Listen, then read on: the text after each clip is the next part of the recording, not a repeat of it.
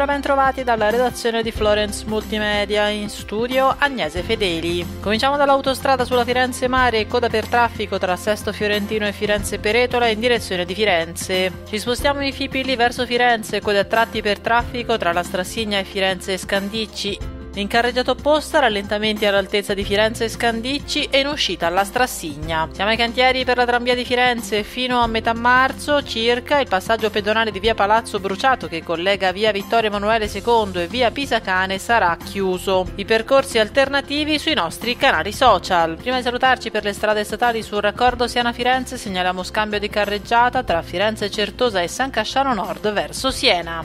Muoversi in Toscana Info è un servizio in collaborazione con Regione Toscana, Città Metropolitana di Firenze e Comune di Firenze. Per ora è tutto, buon viaggio!